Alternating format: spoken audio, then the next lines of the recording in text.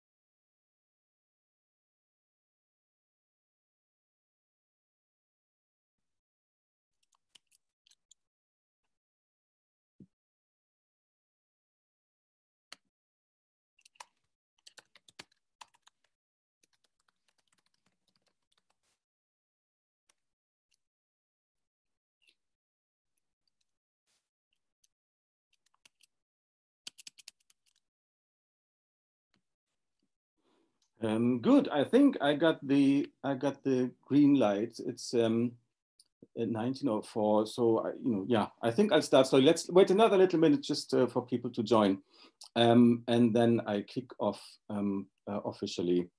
Um, um, we have a little.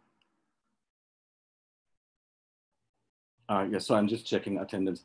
Um, Gudo, um, 1905. Um, let's get started. Very good indeed. Um, good evening, everyone. Uh, good evening here in London, that is. It's um, seven o'clock in the evening, but also good morning, good afternoon to everyone uh, who is in other places and, and other time zones. Um, my name is Lutz Martin. I'm um, based here at SOAS. I'm a professor of general and African linguistics. Um, and I'm very pleased to be the host for this exciting event um, today.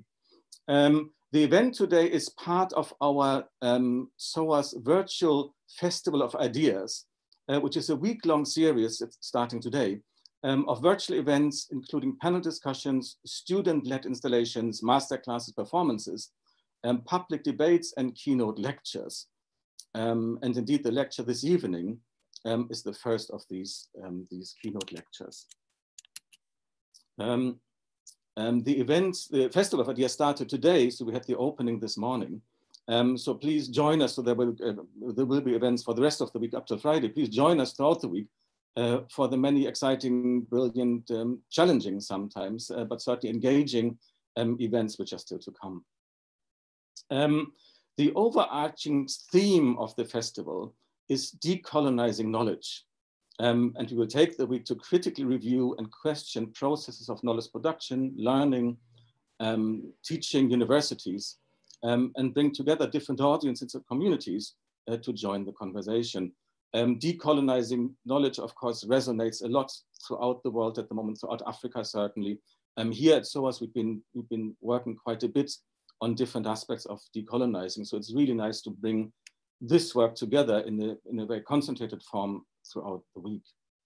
Um, in the uh, opening event this morning, uh, with the keynote address by, by Professor Adam Habib, um, who many will know as a leading thinker in the area of, of decolonizing knowledge and decolonizing universities, uh, but who is also the incoming director of SOAS. He will join us as the new director in January.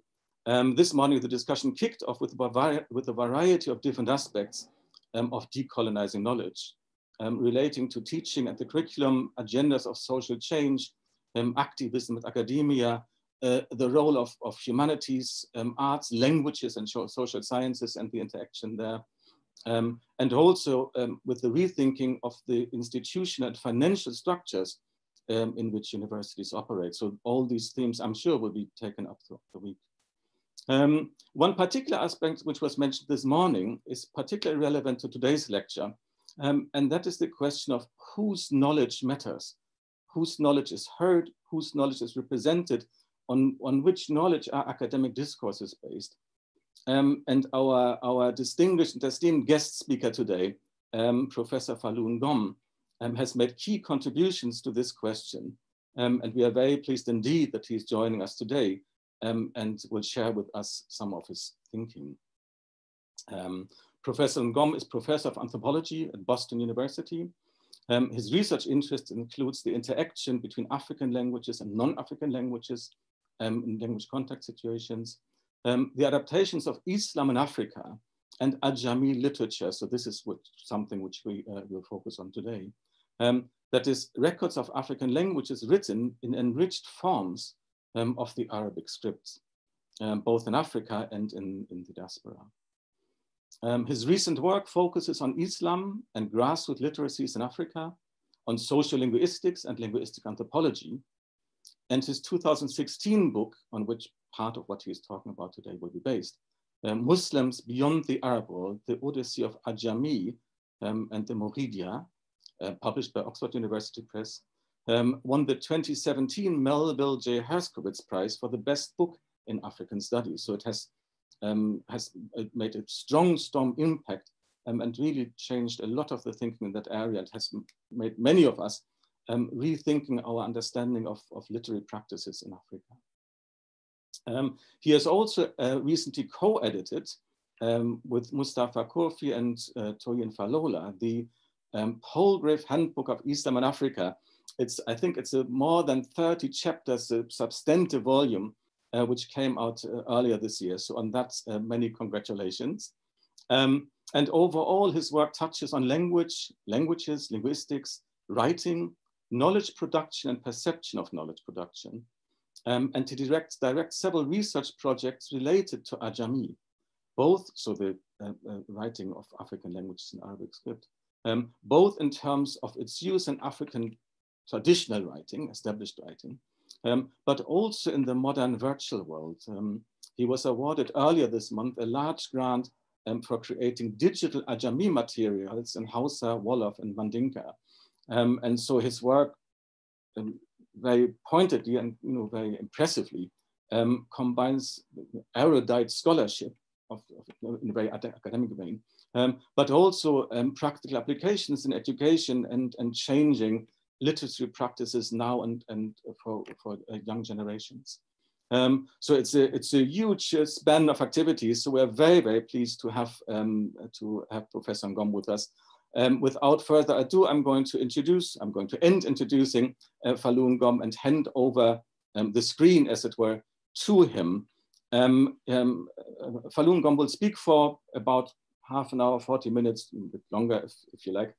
Um, we have two hour slot. After that, there is the opportunity for questions. Please, for questions, use our, our Q&A function. Um, and then you can type the questions in the Q&A function. Please do not use the chat because that gets a little bit confusing sometimes. Um, and then and then we can we can collate them, read them out, and then have a have an informed discussion um, after the lecture.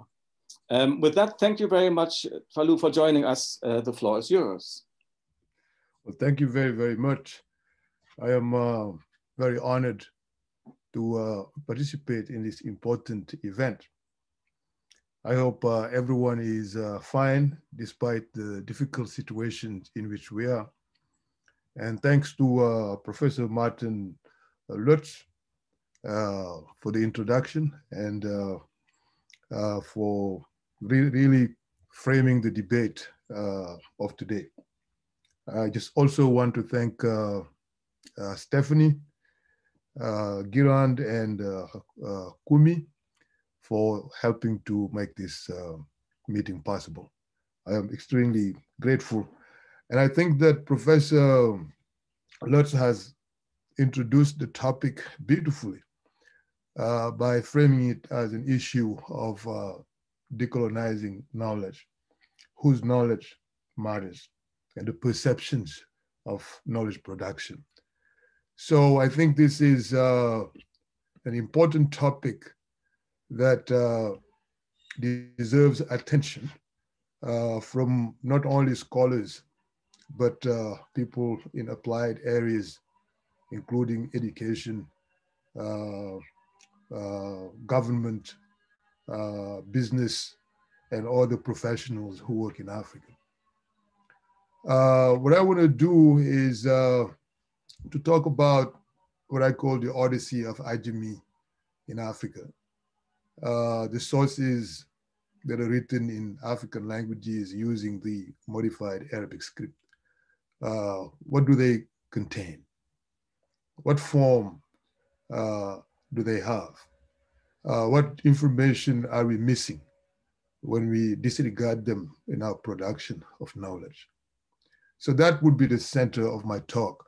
And uh, as you can see in the two images, these are archives uh, that I have found in Senegambia. And uh, the person that you see is uh, clearly not illiterate, though in the official statistics, he is regarded as illiterate. Uh, to begin, I would like just to give some general background about uh, why is uh, Ajami traditions in general uh, overlooked? I think that's partly because of the overemphasis on oral traditions and, and colonial archives that have rendered largely invisible important written materials in non-Latin uh, scripts, particularly in regions where orality and literacy have been interlaced for centuries. So when we tend to present Africa as uh, the continent of orality per excellence, we're actually uh, uh, ignoring the fact that in many areas in Africa, uh, orality and literacy are interlaced. When you have a poem that is written and the poem is chanted, where do you draw the line? Is this written or an oral text. These are not mutually exclusive. And I think that's one of the problems. These written materials in non-Roman scripts and those to be unearthed produced by people that Ousmane Kane uh, refers to as non-Europhone African intellectuals can significantly enhance teaching and research on Africa. So I will uh, focus on the Ajami archives that I know better in this talk. First, what is Ajami? Uh, the word comes from the Arabic word for non-Arab, and it evolved to refer uh, to the practice of writing other languages using the modified Arabic script. So it's not a new phenomenon. Uh, uh, in uh, uh, Urdu, uh, Persian, and other varieties, including among the Uyghurs in China, modifying the Arabic script to write their own languages is very common. So what's happening in Africa is not really new. Ajami has played an important role in the spread of Islam across sub-Saharan Africa and indeed around the world. How does it work, really? In general, what happened is that the Arabic script is enriched with dots to write consonants uh, and vowels in some cases that do not exist in Arabic, but exist in local languages. So I call those powerful dots. Essentially, it's, it's dots that are used for diacritics. In this case, for example, this is an example of Wolof. These consonants do not exist in Arabic. So what the Wolof people did was uh, to use a ba, which exists in Arabic, and they added three dots on top, okay? So in some cases, the dot may be below, okay? But what matters is that the three dots that distinguishes the p from the b, okay? So the same rule is applied for g, okay? You have three dots. And because it's not standardized, you may find texts with variations, okay? Now, these variations have been emphasized by outsiders as a problem for Ajami uh, users. Uh, but in reality, that's not correct because these variations are actually challenges for outsiders, but not insiders, because insiders are familiar with the local variations in the text produced by their authors. So if the author is a popular poet in the, in the, in the, in the community, people are familiar with different variations. So these variations have been, um, uh, I think, one challenge for outsiders, but it's not really uh, for insiders. So I call these dots, uh, the powerful dots, that are really used across the world to increase the uh, letters uh, based on the Arabic uh, letters. So in the Hausa tradition, uh, the Mandinka tradition, uh, the Kanuri tradition, they might decide different dots or different diacritics, but the letters remain basically the same. So with this system, uh, in the same way, it's not different the way it is, it emerged. In the same way, the Latin script spread through Christianity. The, so too, the Arabic script spread through Islam and was modified to write numerous languages around the world. Of course, as you know, Christianity, uh, the spread of Christianity went along with the, with the spread of uh, the Roman script. So it's not, it's not different. Most of these traditions initially emerged as part of the pedagogies to teach Islam to the illiterate masses. And uh, recent evidence indicates that the Arabic orthography itself uh, developed following the patterns observed in Ajami traditions.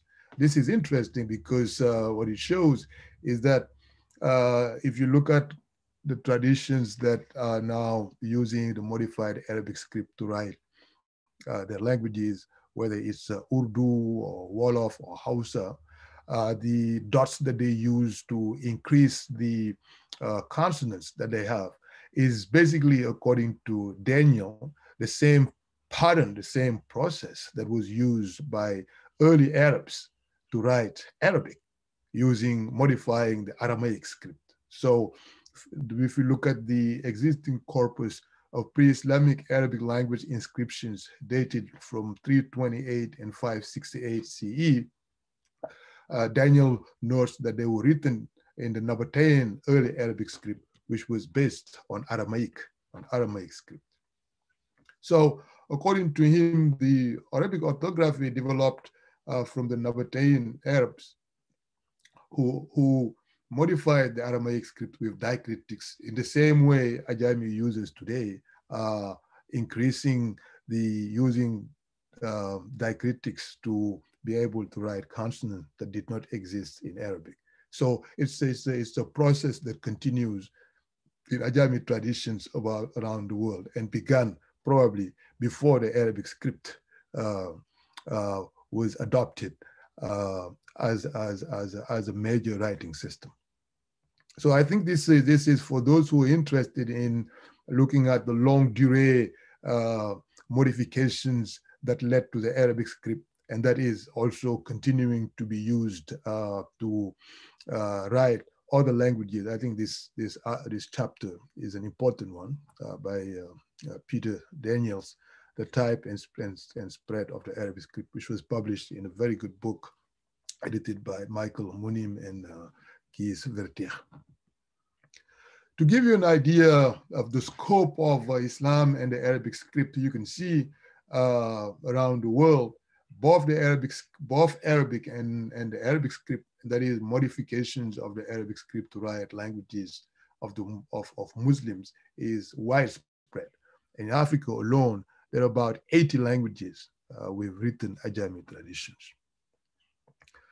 The problem of the exclusion of Ajami literacy in, in official statistics is, is so interesting because when you look at the statistics in general, official statistics, and these are United Nations adult literacy rates, including uh, local governments uh, uh, literacy rates, which are based on uh, uh, European models of literacy.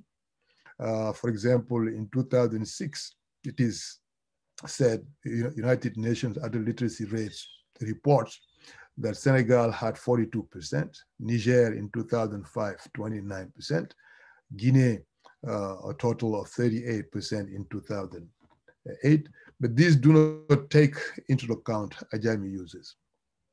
According to CCA in 2003, uh, a limited census conducted in Labé uh, in Guinea-Conakry, in Diourbel, Matam, Podor uh, in Senegal, and Niger and uh, Nigeria reveals that in the Labé area alone in Guinea, there are over 70% Ajami uh, literates, uh, and among them, 20 to 25 uh, are women. in Diourbel, Matam, Podor in Senegal, there are over 70% Ajami literacy. In Hausa areas of uh, Niger and uh, Nigeria, over 80% uh, Ajami have Ajami literacy.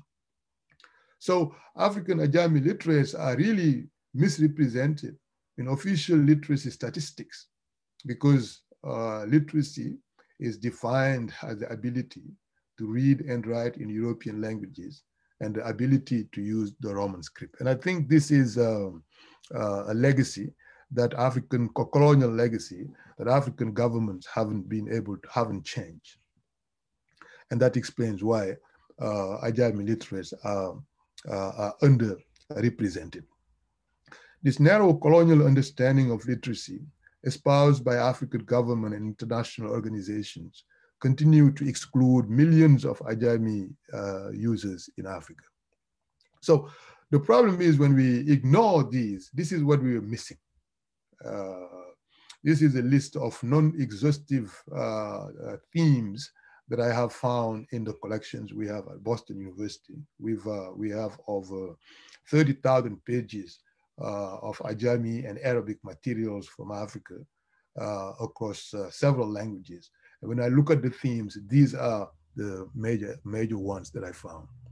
So the, the documents that deal with talismanic protective devices, uh, astrology, divination, religious and didactic materials in poetry and prose, elegies, translations of work on Islamic metaphysics, jurisprudence, Sufism, translations of the Quran from Arabic into African languages, secular writings, such as commercial and administrative record keepings, family genealogies, records of important local events, such as foundations of villages, birth, death, weddings, biographies, political and social satires, advertisements, road signs, public announcements, speeches, personal correspondences, traditional treatment of illnesses, medicinal plants, incantations, history, local customs and tradition and ancestral traditions, and texts on diplomatic matters,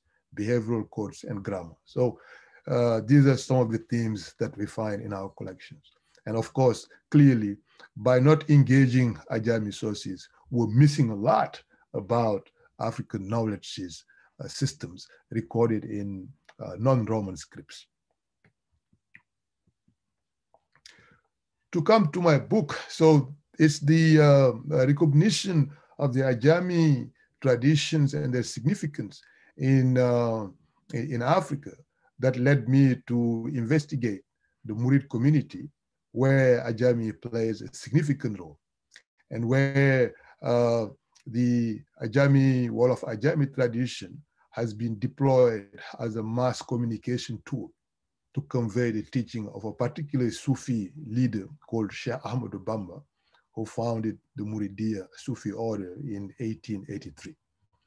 So Sheikh Bamba had been deprived of freedom by the French colonial authorities for 30, 32 years. And uh, yet his movement continued to grow and, and, and, and expanded when scholars have argued that the movement will disappear as soon as he dies, which didn't happen. And I found out that, in fact, the reason why the movement did not die is that the movement was supported by the use of Ajami as a means of, of, of mass communication that uh, was not censored because the colonial system was actually unaware of it. So what I did in the book is therefore uh, to show how Murids used the written, recited, and chanted Ajami text as a means, as an effective mass communication tool in conveying Sheikh Bamba's poignant story, uh, doctrine, and the virtues he cultivated among his followers. And I found that some of the virtues that really made the movement strive and resilient, despite the deportations and house arrests that uh, Bamba was uh, subjected to by the French colonization. These virtues that appealed to the masses included self-esteem, self-reliance, strong faith, work ethic, pursuit of excellence, determination, and optimism in the face of adversity. In fact, these were the themes that were being written in Ajami and chanted in local villages that completely evaded the French uh, intelligence offices, uh, officers. And I think the reason why the movement succeeded when it was not expected was that they were communicating in a language and a script that was not understood by the French colonial officers who assumed that these were uh, uneducated and ignorant Africans who were uh, probably chanting uh, traditional pagan songs. Okay? So I think this is an important lesson that we learned by uh, uh, showing, which shows the importance of engaging local sources uh, because without these local sources, I would not have understood that in fact what made the movement resilient and successful even today is it is one of the most powerful economically, culturally, and politically in Senegal. Uh, is because actually that Ajami has been used purposefully as a mass communication strategy. And this was done without the knowledge of the French colonial authorities. So how does it work? And how does Ajami uh, literacy emerge? Ajami literacy is derived from the Quran. So I call it uh, Quranic derived literacies. Uh, and as you can see, these kids are exposed to the Quranic school using these wooden tablets. Uh, so you have both girls and boys. And as they uh, read the Quran, copies, the chapters of the Quran, verses of the Quran are written on these uh, wooden tablets. As they memorize them, uh, uh, they, when they memorize each chapter, a new chapter is written. Okay, and after that phase, they learn how to read, uh, how to read and write those chapters. Okay, that's how they were first exposed to the Arabic script. Now, the Arabic script that is used in these uh, Quranic schools across West Africa is based on the Warsh classical Arabic script. And I think this is important because there are seven recitations of the Quran called the seven qira'at. And one of the qira'at uh, is the one from Imam Warsh. And it is this variety of classical Arabic that is the basis of uh, Ajami in West Africa, which means those who speak standard Arabic based on uh, uh, Hafs writing might have problems reading Ajami text because the basis is Warsh, not Hafs. Okay. So as they finish the Quranic school, the first level of the Quranic school, which is using the wooden tablets to uh, learn the verses, uh, the second layer of education, the second level of education is that they have to write a copy of the Quran uh, uh from memory. And this is an example of a 15 year old boy writing his first handwritten copy of the Quran in Senegal. Uh, it's a picture I took in 2016. And you can see uh, this is the page. And once they're done with the, uh, the, the, the, the, the, verse or the, the surah, they will now add the vocalizations. Okay, so this is a page without vocalization. I might note that usually uh, no, no numbers are added because the first word of the next page is written here. Okay, so which allows uh, people to know the next page. Okay, uh, when students go through this process, they become literate, dual lit, they acquire dual literacy. They acquire literacy in Arabic, classical Arabic, Warsh based, but they also acquire the local Ajami tradition that is based on the Warsh tradition. And in the Mandinka areas, if they, they, they haven't dropped out and they continue uh, to study uh, say poetry or to study higher levels in higher levels in uh, other uh, areas of Islamic knowledge, including fiqh, uh, jurisprudence, or grammar, or lugha, etc. They might travel and go to a place where a, you know a specialist is known to be, and then they might work with that person. So, but what's interesting, this is a case, for example, of a copy of a Quran, uh, of, of a poem that ends with dal, dal, dal, dal, as you can see here. And the teacher might ask the student to make a copy of a 300 pages of a, of a particular poem in one particular genre. Okay, and then uh, the teacher might meet the student and comment on, uh, on, on the student's writings. Okay, and these comments are important because they could be multilingual. Okay, so if the discussions was, for example, uh, if the teacher assumed that he has taught the student one concept in in Mandinka, some of the some of the comments may be in Mandinka. If the content was taught, if the content, say, of this word was uh, explained, say, in Hausa, you might find that the comments here might be in Hausa. Okay, what you end up having is a text that is multilingual, that reflects multilingualism and multiliteracies, and clearly showing that these people that we're regarding as illiterate, then, then they're actually not illiterate. They, they're not only literate, they're multiliterate and, and, and multilingual. And I think these texts uh, reflect the complexities and the wealth of knowledge that is found in these Ajami traditions that um, we are yet to uh, really fully, fully grasp. Additionally, these texts may also be transmitted from family to family, which means some family members may add new comments. So you could trace generations. For example, you could see this one is blue, it's clearly added recently. Okay, you could find this one is this comment is blue here, and this gloss is. So you can track genealogies uh, through these uh, these Ajami texts. The kind of scholars we have in Ajami traditions, I have categorized them in three groups. The first group is the group I call the social scientists. The second group is the group I call the esoteric scholars. And the third group is a group I call poets and singers. So uh, this categorization is by no means to be a generalization. It is simply intended to reflect the major trends I have observed in the works of these uh, scholars. Uh, so the social scientists are those who uh, conduct field work in many, in, in many ways like uh, us. So they travel from places to places, they collect the data, they analyze the data, and they cite sources. In fact, they cite sources. Uh, they say, you know, they, they ground them in, in, in the literature, you know.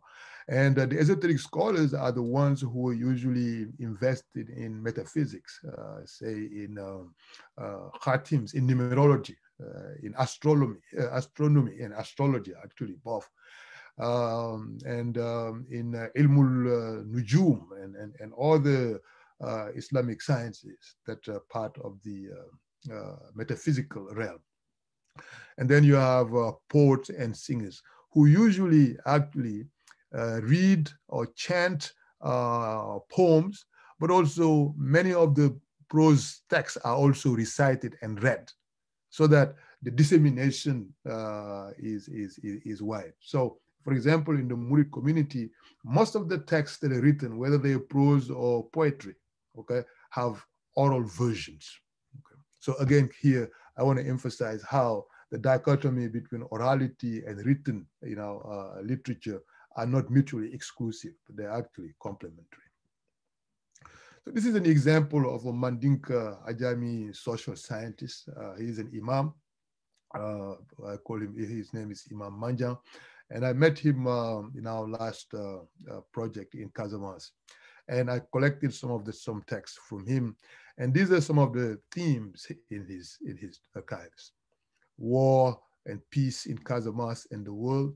There were themes that dealt with uh, dangers of alcoholism, drug use, and divorce, uh, pre-colonial and anti-colonial Mandinka leaders in the region, uh, historical notes on the on the powerful, once powerful Mandinka Kaabu Empire uh, from the 15, uh, 1537 to 1867, whose capital was Kansala.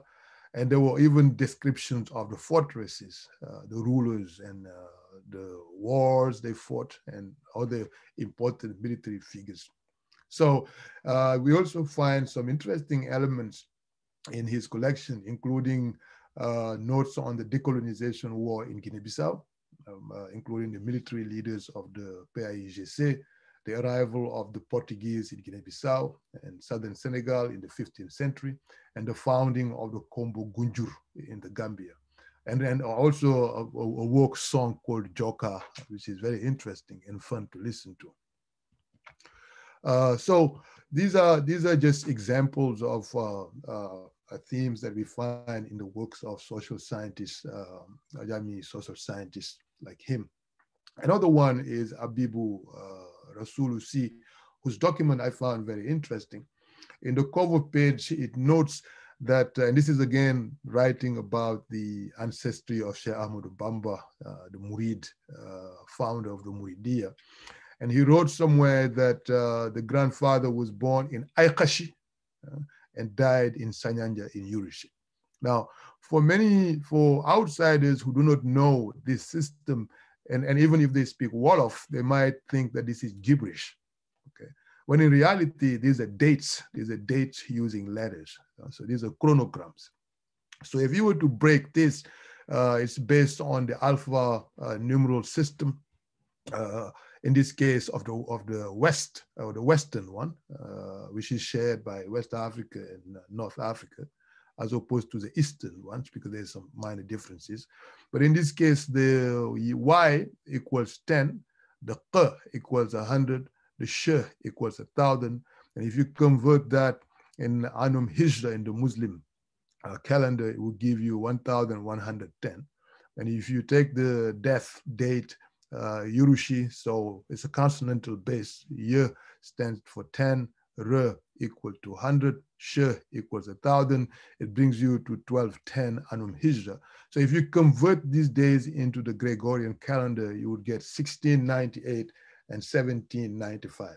So which means that the person being discussed here actually lived uh, to up uh, 100 years. You know? So this is interesting because many historians who have studied these societies assuming that they oral, that they only have oral traditions, or even if they have texts, those texts must not be of importance. These documents clearly show the importance that these documents, that these sources of knowledge could have in decolonizing knowledge and actually helping to get better dating okay, of the uh, sources uh, in the region. So clearly, these would have uh, such documents have potential contributions in African historiography that has that has not yet been exploit, exploited. Um, and again, so I just wanted to note that uh, while it's true that uh, many of the Ajami writers are male, uh, there are equally important women who have also written Ajami text, uh, either poetry and prose.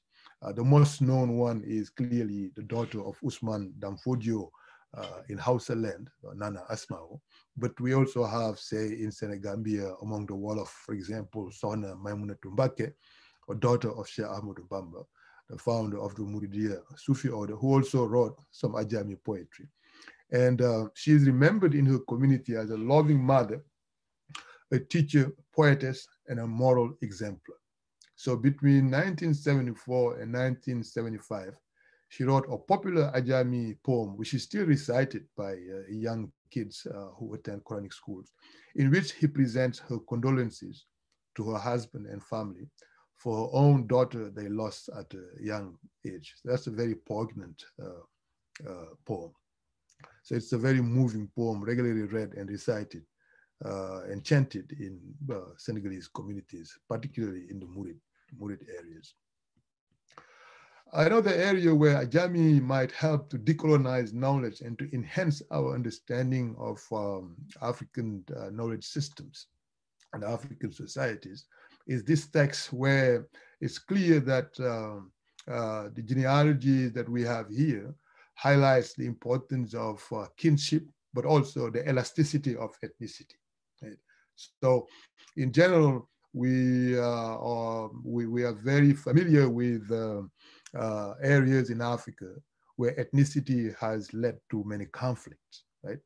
But there are also areas where ethnicity is actually very flexible and that uh, uh, um, ethnic mixing is the norm. And this is the case because this document shows us that uh, uh, the family of Sheikh Ahmad Bamba uh, from the 17th to the 20th century, the ethnic transformation, the incorporation from one ethnic group to the dominant ethnic groups in Senegal, which is the Wolof, uh, from a maternal, uh, the maternal and paternal lineages of Ahmad Bamba. The document traces the Fulani roots of the family to its full Wolofization including the first person in the family who became fully Wolofized and spoke only Wolof. Another area that is uh, important uh, in Ajami sources that cuts across uh, the Ajami materials uh, in West Africa are texts dealing with local medicine. so this is an excerpt of a table of content from Wolof Ajami tradition. And uh, clearly, Louis Fach Sochent, uh, uh, what heals varicella, and you have many other healing any type of eye pain, healing rheumatism, healing stomachache, healing headache, healing sore throat, healing toothache, healing someone who cannot urinate, uh, benefits of the parrot's tongue for healing children with speech disorder. So you have many, many, many uh, issues like that being treated. So Another area that I think this understanding and studying this Ajami document might be helpful is uh, in uh, reconstructing pre-colonial diplomacy. For example, uh, this document I found in the archives uh, in France, uh, in um, uh, Aix-en-Provence, is archive colonial. It shows this is a deal between King Louis XVIII of France and King of Bar of the Gambia. Okay, so basically, what happened is that King of France uh, came to West Africa, particularly in the Gambian region, and was looking for opportunities for trade. And uh, he was invited uh, by King of Bar, and uh, King of Bar asked him to make his proposition. And the King of France dictated his proposition to his scribe, which is represented here. And the king of Bar responded, asked his scribe to respond to his to the proposition of the other monarch, which is which is this part. Okay. So you can see when the balance of power between this European and this uh, African uh, ruler were the same, Ajami was clearly recognized as a diplomatic means of communication, right? But as soon as the balance of power shifted in favor of Europeans, all the descendant, descendants of Ajami, uh, of King Bar, who are using Ajami, are regarded today as illiterate, which means that literacy is also about power. Uh, and which is, uh, and I might note here, which is this has, this formula has often also misled many scholars. Because of course, of course, when Muslims write, they always write with Bismillah, begin with Bismillahir Rahmanir Rahim, which is the formula, a doxology, which is commonly used by uh, Muslims whenever they write. But the rest is Wolof. Everything else is Wolof. So many scholars have been able to read this, you know, but they can't read the rest, and they assume that the rest is gibberish. And in some cases, they call them uh, incorrectly unreadable Arabic or undecipherable Arabic, when in reality, it's Wolof or Hausa or another language. So but Ajami traditions are not dead, even if they're not recognized by uh, many of these governments, because people continue to use Ajami to run their businesses. Okay, and there are extensive uh, literature, bureaucratic literature that shows the institutions how they work. Okay, and these are two examples that I find from the Murid community. Uh, this is written by a woman uh, who is a descendant of Shah, uh, Ibra Fall, an important uh, Murid leader uh, known as the apostle of hard work. And in this text, where she is calling uh, the community to help her build uh, uh, a home in a land that was given to her. Okay, and usually these calls are read in in public uh, in the uh, you know at the radio or sometime um, distributed copies are made and distributed, and Murids respond to these very quickly. Okay, this is another similar document that reflect uh, reception uh, of, of, of funds that were given to one particular leader. And this is a letter generated by the leader to acknowledge reception of the, of the funds. So that brings me to another domain that we have also overlooked as we think about knowledge production and acquisition of literacy in Africa. Okay? As I said, the uh, understanding of literacy as only being uh, driven through the eye is, is, is, is, is true, but it may not account for the multiple ways in which literacy is acquired in Africa. Okay, and that orality doesn't necessarily exclude uh, written tradition. In this case, for example, this is a this is a poem, uh, a, a, the cover of a poem, a very popular poem uh, on that that is dedicated on Serigne Saliou Mbacké, who was a former Murid uh, leader. Okay, you can see the poem, the copy of the poem, and the chanted version was on a CD. Okay, which means that some people will be listening to the songs before they read the text, and it's, it's for some people it will be the listening of the poems that mem- the memorization of the poems that would lead them to desire to learn the script and they therefore learn the script. Okay, so this form of literacy clearly is uh, what I call music derived literacy because the literacy is acquired primarily, it's driven primarily from the songs, the beautiful poems they hear. And these poems are usually very beautiful. They have local metaphors, local maxims, and they talk to the people so they can resonate with people. So let's listen uh, for one minute uh, just to give you a sense. May ma li julli yëpp ak wér daa. Ak sa loxo lii ngay binde. Def ma bu wér sa loxo lii ngay binde. Ak sa cër yi may ma ab cër. Bu rëy ci yow bu gën a sakkan bépp cër. Ak sa bopp bi ngay dox di muur. Def ma sa bopp def ma it ku am okay so through these poems Ajami literacy has expanded Okay, but this was the traditional way of um, uh, expanding Ajami literature through these poems that were chanted in rural villages and then later moved into cassettes and then DVD uh, and CDs now has moved to the, to the digital space. So what you have now, the same poems are now being shared online. As you can see here, over 78,576 have viewed this poem and, and they can they can uh, listen to it and read. And in so doing, they're acquiring literacy without necessarily attending the Quranic school. And this is only true, this is true, not only true for Ajami, but it's also true for Arabic, okay? Because there are also Arabic poems in the community are being read and treated this way. So these are important areas of new investigation that I think would be useful uh, for uh, students of Africa to begin to understand the multiple modes that are used to produce literacy that, that has evaded uh, scholars for centuries. And uh, to conclude, we also have you know, very practical, uh, short day-to-day uh, uses of Ajami, like advertisement. Okay?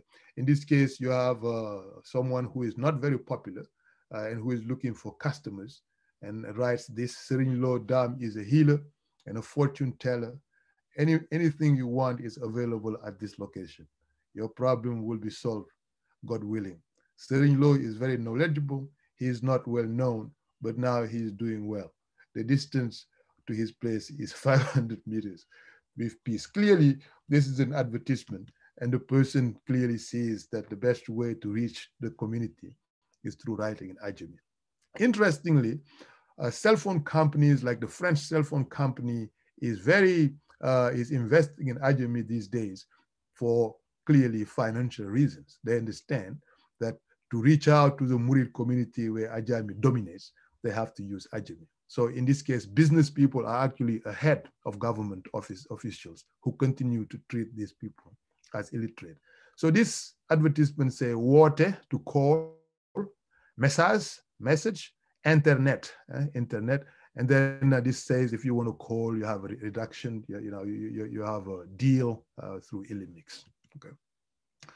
In Nigeria, uh, polit politicians are also very interesting while they, they might in, in, in public and then when it comes to uh, policies, not promote Ajami, but in the political campaigns, they might actually deploy Ajami to reach the masses. And this is the case of a election campaign in Nigeria in the Nupe uh, uh, Ajami collection.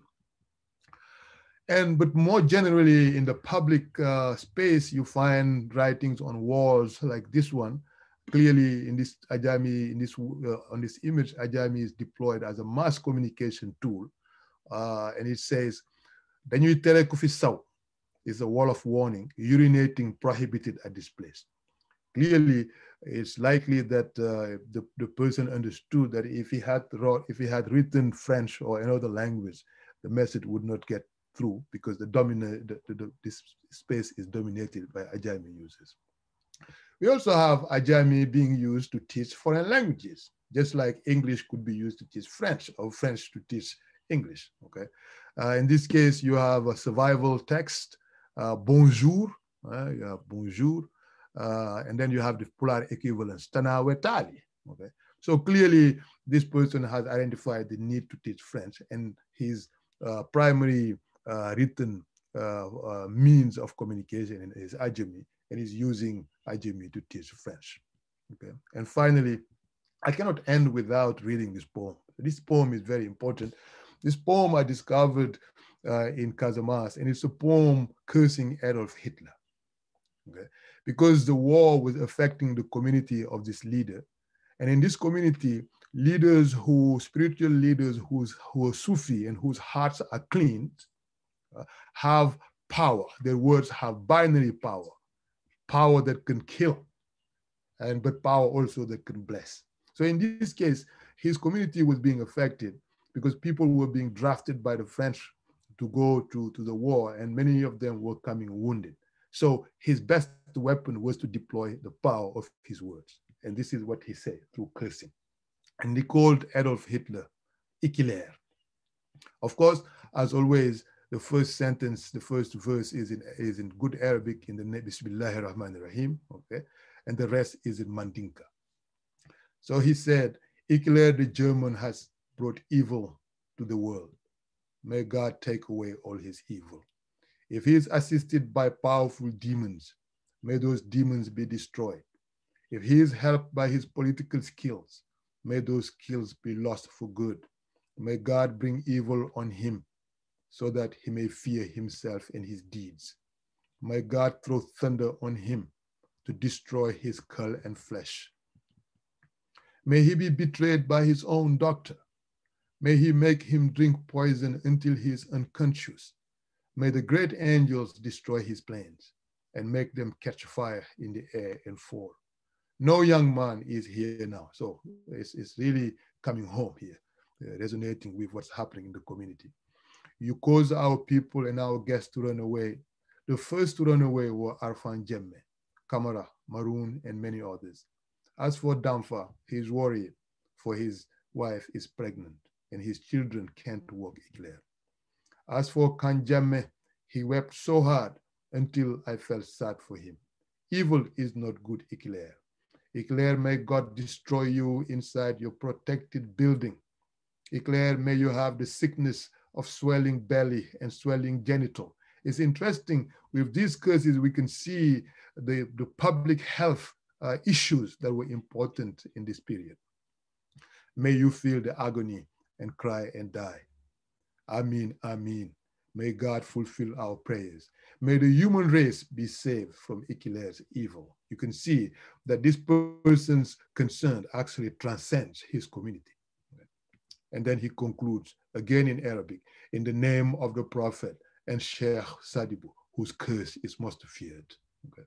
So poems like this, where do you place them? These are meant to be chanted and it's written, all of this is written in Mandinka and only the beginning and the end are written in Arabic. Are these written texts, oral texts? Are these religious or non-religious texts? These are interlaced in these uh, knowledge productions. In this knowledge system, these are not mutually exclusive. In conclusion, the, the bulk of the Ajami materials remain unstudied.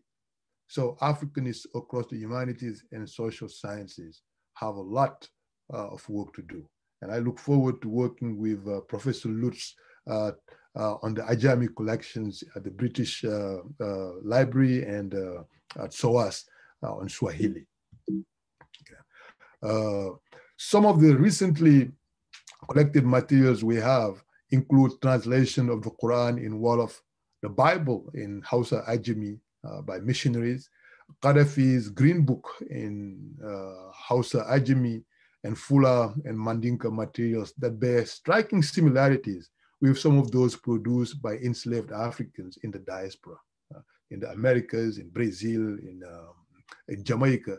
And I think this is an area that would be really important uh, to uh, connect uh, Africans in Africa today and the literacy and, and the writings of African displaced uh, outside of Africa uh, during the transatlantic slavery. These materials, when seriously studied, will enhance our understanding of various aspects of Islam in Africa, but also of pre-colonial, colonial, and post-colonial Africa. Thank you very much for your attention. I would uh, be happy to answer your questions.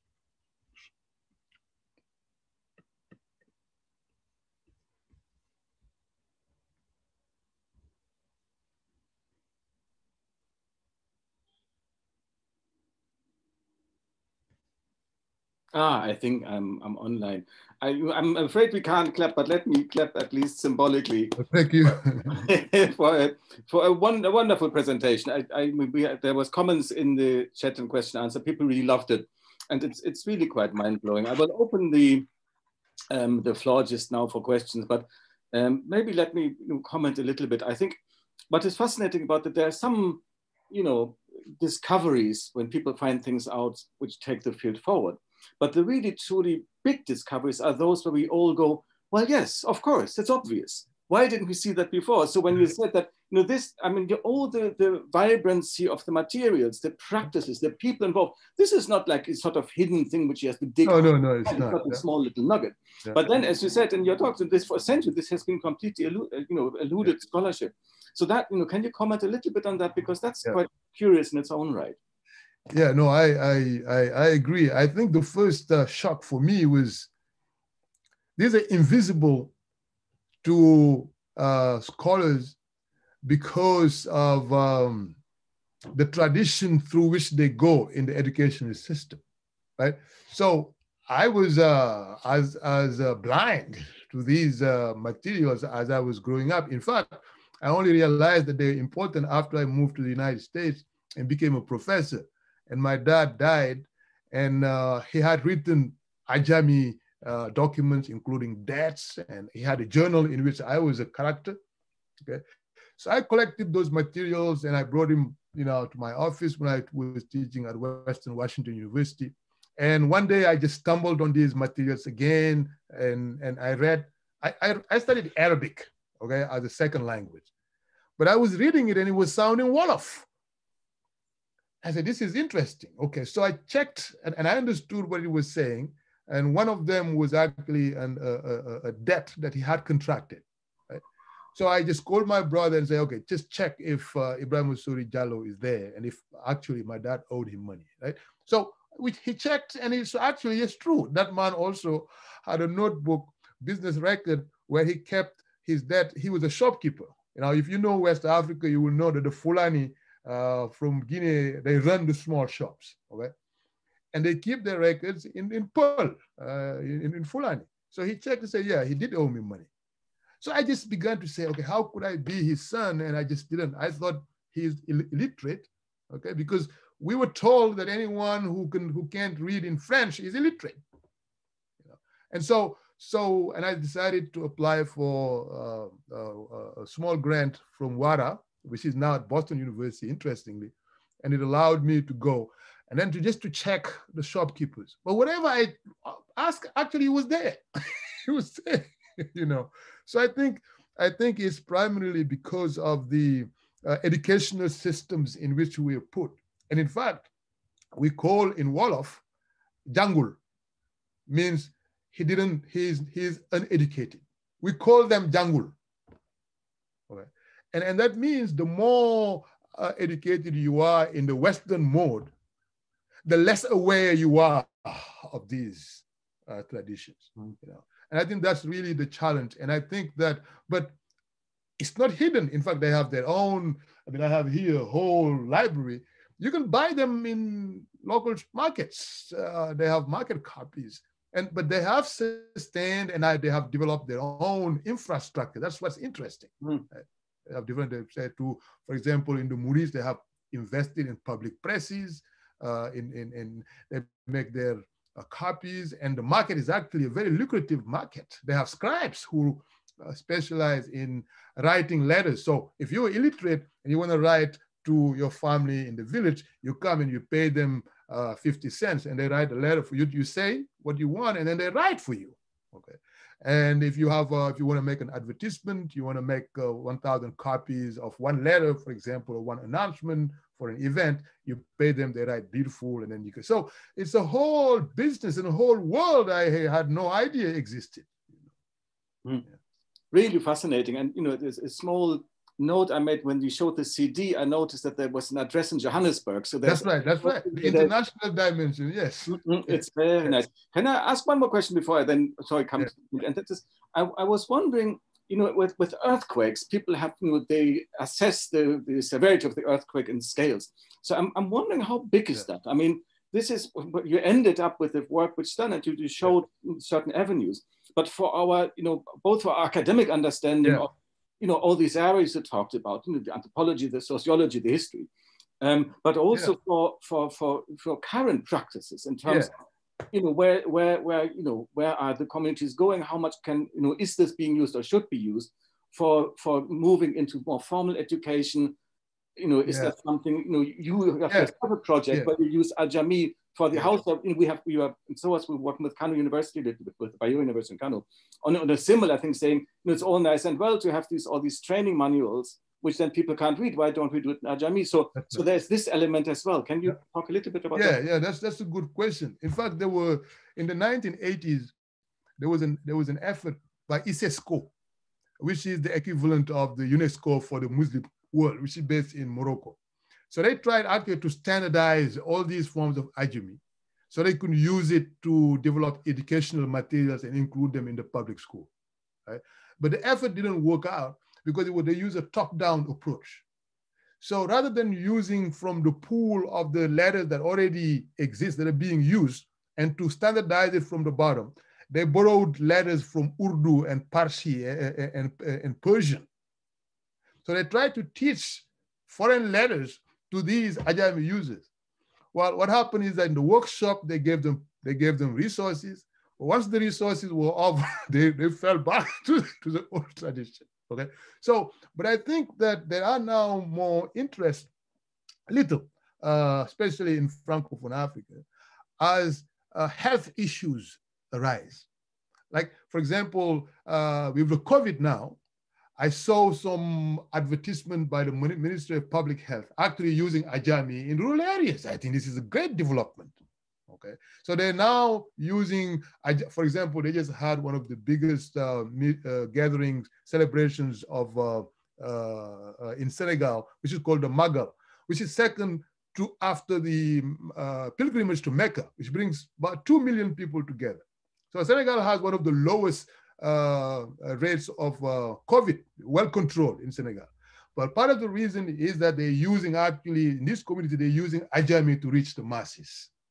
So uh, social distancing, you know, places to wash your hand and all of those things. So I think there is now growing recognition of, of, of the need to find ways to incorporate, you know, these forms grassroots literacies into the public uh, uh, domain. The challenge is, is this will, political will enduring? I don't know. Uh, so that's, those are political issues. But, but there are clearly, and the diaspora dimension is important. So the financial transactions uh, that are done within the diaspora that actually evade the formal system is done through the system through the system. so so I think I think there is a that there's a lot of uh, potentials, and I think that um, uh, maybe with this new uh, health issues and uh, uh, the realization of the need to reach to the masses, this may expand uh, the use of Ajami and maybe leading the government to take it seriously. But I wanted to add one thing before I finish on this point. For linguists like you and I, these texts are mine from a from a diachronic point of view. I mean, I can see I, I can see how Wolof evolved from from the texts that were produced, say, in the 18th century, 19th century, 20th century. You can see you can see how the phonology is actually changing. Rules that existed, you know, in the 19th century from rules that existed now as a result of borrowings. But you can see if you wanted to reconstruct Proto-Wolof, I mean, these texts are mine, right? They also capture the ecology, the changing ecology. I didn't know that there were lions in the Sahelian region of Senegal, particularly in the Diourbel area. But if you read some of these documents, some of them pray, pray for God and the Bamba to protect them from this particular type of lion. and they give the name of, the, of that kind of lion. So there were different types of lions clearly that existed in the area and that uh, posed threat to them. So it allows you really to, to, to capture both linguistic evolution, but also social, cultural, and ecological changes that took place in this area. Yeah. So it's really a mind of, of knowledge that uh, we're, you know, we, we, we, we're beginning to, to open up here. Ah, so it seems the impact is uh, big. Yes, definitely. Yes.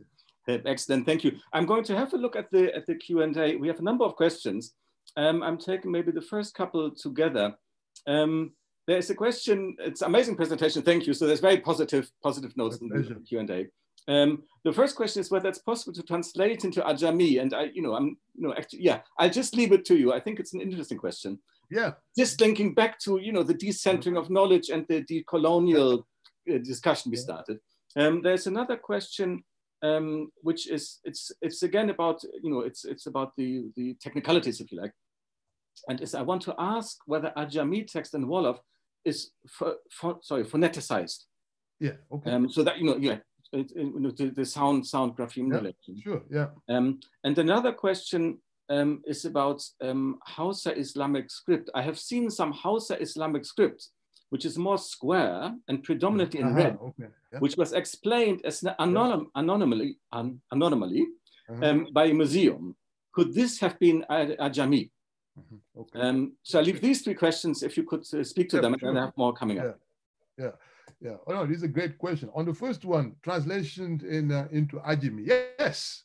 Uh, in fact, again, as I said, this is so interesting, and and that relates to the question you asked earlier. there are growing recognition by the government that these Ajami youths are actually important constituencies. And you will be shocked. They're not the poorest. They're actually very successful because they control the informal economy. They are the shopkeepers. They are the market uh, merchants. Okay, and and and they also occupy large areas where Quranic schools are the basic institutions of education. So, in elections, in the past elections, the government of uh, the party, the ruling party, wanted to uh, make changes in the constitution, and there was a lot of resistance in those areas. Well, they drafted, those, they found ways. they probably hired some of those scribes, and they translated from French the changes into the constitution into Ajami. And these days, they did not use the imported letters. They actually used the local, local letters. And the 15 points were actually conveyed through Ajami in the Diourbel area. Uh, unfortunately, they didn't pass. Those points didn't pass because they were opposed to it. So I, I think the point is translation is actually possible. And uh, because now people are realizing that basically it's language to language. I mean, it's from English to French, or just like uh, it could be from English to French, it could be from French to Wolof Ajami. Okay, so that's not a problem there. Uh, public health materials are actually translated, as I said. So wash your hands, you know, social distancing, all of those are translated. And you can find science, actually, you know, which are translated from public health materials. Mm. Phoneticized, this is so interesting. In fact, Ajami writings are phoneticized. They're based on phonetics. So the three dots that you see are actually marking voicing or devoicing. For example, the bar in this case is voiced, right? To, to show devoicing, you're using three dots. In the Wolof community, you use three dots to show this is the devoicing. okay. And you would see that in fact, it's, it's actually closer to the phonetic rendering than general orthography. Right? Because as we know, orthography, philosophy can be written with PH, uh, but fall can be written with an F. Okay, that variation is actually very, very rare to see that in Ajami text. They're closer to the, to the phonetic rendering because again, people are writing as they're speaking, as they're hearing. Okay, the variations become uh, uh, because it's not standardized. Everybody within the community have their own understanding of how to represent one particular phoneme. Okay, so that's why when standardization were to happen, it would it would actually be easy if you draw it from the bottom up. Say, look at all the ways they use to write P. Are they using two dots or three dots? Ask them to pick one and standardize from there, rather than teaching them on Urdu which is different, which is different, okay? So I think, I think, um, and, and let, let me add another point, this is also linguistically very interesting. The segmentation of words, of a, of a morpheme, of a, of a lexical item is very different from the way they segment their structures. The structures seems to be segmented based on thoughts, units of thought. What, what it means. A verb phrase could be one, could be transcribed as one, okay? I am hungry could be written as one chunk. Or, or, or uh, I am at home. The at home could be written as one chunk because they're not think they're not writing uh, uh, um, uh, you know isolating these structures as in, in, an isolating language. They're writing it expressing units of thoughts. Okay, so that's why in fact you have to understand that logic. Okay? Because if you understand that logic, then you can actually break the structures. Okay, so. Um, Another, the other question is about, yes, this is interesting. This is the variation of the square writings. This is the variation of style. So there are different styles that a text that could be used to write a text. These are, not, these are styles. There's a what what the, the person is asking about is actually referred to the Maghribi writing style. Right? So the Maghribi writing style is one of the many writing styles that exists. In the West African region, the Maghribi, that writing style is the most dominant right? because it's derived from the old Quranic copies that were marketed in the region, right? So you will find them among the Wolof, you'll find them among the Hausa, but they can be used in Arabic text as well as in Ajami text because these are just styles of writing. It's like when you're writing English with uh, a calligraphic form, okay? Or you're writing in cursive, you know. So these are forms. So there are several ones. There are even in some communities, you have local invented writing forms that vary from the Maghribi, like in Kano, you have the Kanawi writing system. In, in, in, in, in Borno, you have the Barnawi writing system. Uh, among the Sahara, say among the Mauritanians, you have the Sahrawi, which is very thin, very thin and light. Okay, so these are these are different styles of writing that are found both in Arabic and Ajami text, and they're not necessarily only for one or the other. Okay, so these are just part of the writing uh, systems that exist, you know. And I need to note, is very, very important in the Islamic tradition. Some of the, the, some of the images are shown earlier when that kid was writing a copy of the Quran. The second phase after he finished copying the verses is to add artistic dimensions. Mm. Calligraphy becomes very, very important in Islam because we Muslims do not represent visual representation of the Prophet or God. So calligraphy has become the default Islamic art. And it, because it, it begins from the Quranic writing, it also expands. So many of these are actually great, great artists. Many of these Ajami users are actually great. You will find drawings and beautiful uh, maps sometimes, flowers. And this is another element that is also very interesting. Many of these artistic creations are also localized. So there will be painting or writing things that draw from Islamic tradition, but also reflects local ecologies. Okay.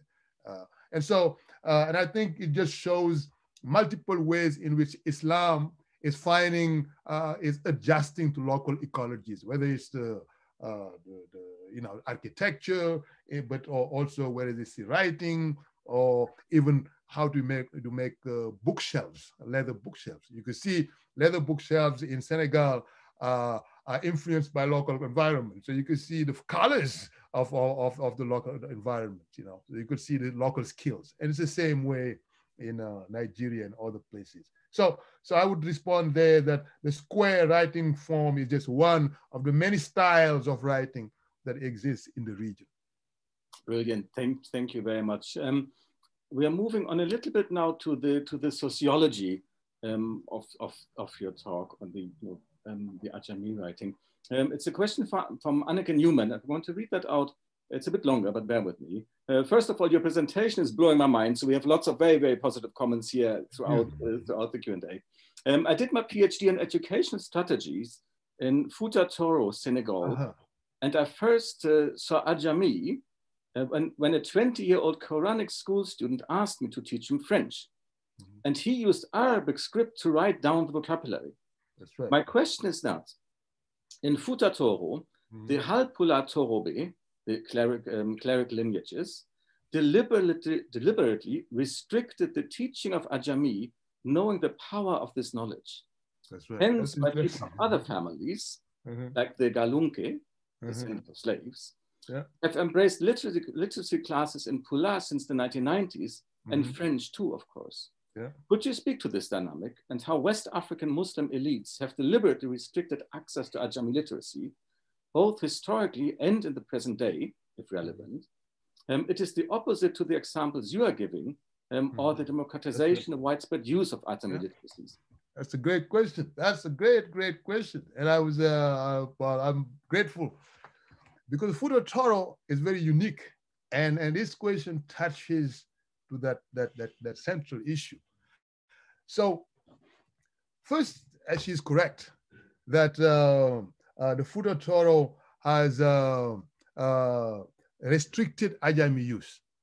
And that goes back to the founder of Fouta Toro itself.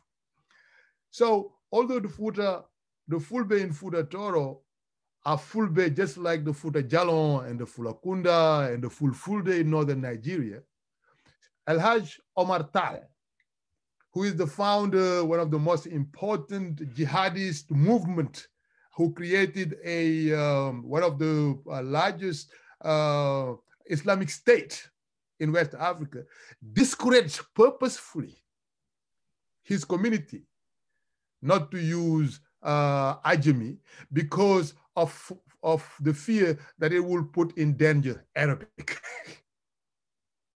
so that positioning, that political positioning is very, very important because he even had confrontations with another pro-Ajami scholar in Futa Jalon called Cherno Mombeya.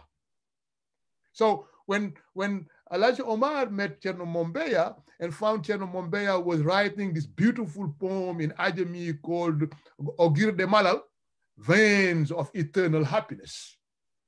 Al-Hajj Omar told him, you should stop, refrain from writing in the local language when you talk about Islam, because you were putting in danger the language of the Quran and the language of Prophet Muhammad. Well, because at that point, Al-Hajj Omar was a, was a clerical warrior, if he warns you, you better listen. So Mombeya was forced to respond to that accusation by giving the argument that I'm talking to farmers and herders. How will I teach them the beauty of the Quran and Prophet Muhammad if I don't use their tongue? Okay. And because of that tradition, Futa Jalon, in Futa Jalon, Ajami has flourished. While in Futa Toro, where this person is talking about, Ajami has not flourished. okay. Okay. And, and I think that's because of these two opposing ideologies of language. One that I call the monoglossic ideology of language. Those who think that God is monolingual and that the Quran and, and Islam must only be conveyed through Arabic. And the other group that thinks uh, the, the, the polyglossic ideology of language, that God is multilingual and that he can understand all the languages. And these two groups are very, in fact, they, they exchange fire very commonly in the Ajami literature, in Ajami literature, okay? So, so that, that makes very, that makes sense. And the fact that uh, the person who asked the question realized that there were actually Ajami literacy there because these people were able to write French in, uh, in, in the Arabic script, which is French Ajami, is not surprising because the Quranic schools are there but, but the institutional support and the leadership support that made it successful in the Wolof, in the Hausa, in the Fulfulde, in the Futa Jalon was not there in the case of Futa Toro. Okay. And I think, I think finally, this, is, this brings me to another important dimension related in, in um, Jamaica. Right? One of the slaves who was brought there called Abu Bakr as-Siddiqui, when his master realized that he was more educated than he was, he asked him to keep record of the plantation in English. Well, by that time, Abu Bakr only knew English and needed to keep the record in English. And he did just like these guys did to write French with the Arabic script. He wrote, kept the records of the plantations in, in English using Ajami. So English has been written also with, with Ajami script. No, this is great question. And so uh, I completely agree that the restricted forms of literacy in Futa Toro contrast very sharply, say, with Futa Jalon and the Fula. Okay, and that's because of, uh, according to scholars, the uh, uh, monoglossic ideology that uh, Al-Hajj Omar took, that saw Ajami, the growth of Ajami, as endangering the Quran and Arabic, and others took a different view. That's a great question. Uh, thank you. Yeah, and also wonderful answer. It really shows very, very nicely how, how political context, historical right. context, you know, you have to understand in yeah. which context language operates in order to see what functions fulfills. Yeah. So very, very nice example. Um, let us stay with, with usage across different groups. There's a question um, from a former colleague of ours, actually, Alena Rettová. Uh, welcome, Alena. Um, thank you for this wonderful lecture. I've really enjoyed it you mentioned that Ajami was particularly common in the Muridiyya. Uh -huh. How is it in the other Sufi orders? Uh, good. Most good poets use Ajami to compose poems, or do they also use Roman scripts? I'm okay. thinking of the collections of uh, Poèmes et Pensées philosophiques Wolof, mm -hmm. edited by Asane Sila, uh -huh. which brings together poems in Wolof from all of the four orders.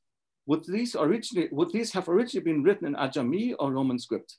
That's a great question. That's a great question. So first, why the Muridiyya have used the Ajami? We, talk, we were just talking about how ideology and politics is important, right? So remember the Muridiyya was born uh, as a rupture from uh, the Tijaniya and the Khadriya. So when the Muridiyya was, was, was first uh, uh, born, it was stigmatized as the order of the uneducated. Sheikh Ahmadu Bamba was regarded as a heretic because he did not follow uh, the, the continual teaching of the Quranic school system and the, the framework that he found. In fact, he came to reform the Quranic school system. And, and so the Muridiyya was stigmatized as by the Tijani and the Khadriya as the variety of Islam of the masses, the uneducated one. And they were even saying that to have a child who become to be an orphan doesn't mean to lose your child. To be an orphan means to lose your child to the Muridiyya. right? And so, therefore, Bamba had in his hands a lot of people who are uneducated and who are adults. You can't send these people to the Quranic schools. he had to invent a new way of teaching them. And that's why the founding days of the Muridiyya were very difficult. And it was really like a boot camp. That's what he had, where he would teach them. And the best way to teach these people was through their language. and he had, he had scholars who were actually writing in, who were great poets writing Arabic poets by Jahate, Musaka, Samba Jarambai. He told them, no, you should convert my, my ethos into Wolof so these masses can understand. Let me continue to write in Arabic and engage the Muslim intelligentsia. But you, your responsibility as my disciples is to convey my own thoughts to the masses. So, so you can see this is the reason why among the Muridiyya, Ajami has expanded, exploded, and it has been used as a key means of mass communication. Okay. In the other Sufi orders, you have Arabic dominating. You, have, you still have Ajami, but remember, these are elite. Now, they trace their education to Fez, Morocco, for the Tijaniya, uh, where Sheikh Ahmed Tijan is buried. The Abdul Khad, uh, the, for the Qadriya, they have connections with Mauritania, okay, uh, where Arabic is spoken. Okay, so the liturgical texts are mostly in Arabic, right? So they do have Ajami, but they don't use Ajami with the same mass communication strategy that the Murids have done. Okay, so that's the reason why, you know, you can see even today, all the local presses that produce Ajami documents are owned by Murids. Even other communities, if they want to print their material, they go to Murid businesses, Murid businesses, because of the long traditions of Murids using Ajami as the badge of their identity. Okay, so that's important. On the, on the poems that you mentioned with the, uh, the Asan Silla, it's interesting that Asan Silla actually did some good work among the Layennes, uh, collecting some poems, some Ajami poems among the Layennes. In fact, the Layennes are uh, little studied compared to the Khadriya, the Tijaniya, and the Murids. But the, Layennes also have produced some important Ajami po poems. In fact, I have, I have one collection here. Uh, so uh, some of the poems that are written in, in, uh, uh, in, in with the Latin script, you're right, some of them are translated from Ajami. Uh, there is, a, in fact, some of the most important, two very popular poems called uh, uh, Jar Jari Borom Tuba. Uh, no, excuse me. Uh, Jazau Shakur Buyonu Geji and Jazau Shakur Buyonu Jeriji. And these are two masterpieces by Mbai Jahate, no, Musaka, that documents the Sufi life of Sheikh Ahmad Bamba with the deportations in Gabon, in Mauritania, have been regularly translated into French. Okay, and it's also very interesting to note that many of the singers, local musicians, whether they know it or not, have been influenced by the power of the voices that they have heard in these Ajami texts, because these are chanted and they have blended with the local popular consciousness. So you will find some phrases in some songs. If you know the text, I could you could just pull it out because they came here. They may not know because for history for a long time, these chantings, these poems, these teaching have blended with the popular popular consciousness. Okay, so uh, you have the text, some some Ajami texts that are translated, transcribed. Okay, but you also have, and I will end the texts in Roman script that are more recent and that are not translated in Ajami. Okay, so uh, many of the writing writings by non by Europhone scholars, and I mean the scholars who come from the French colonial system uh, that is inherited by Senegal, they're unaware of these Ajami traditions. Okay, I think now they're knowing, uh, they're learning about it little by little, and many of them write in in French. Okay, but Assane Sylla, uh, it's important that you note you noted him. He actually was aware of it, and he has actually collected some texts from the Layenne community, some Ajami texts that he studied. This is a great question.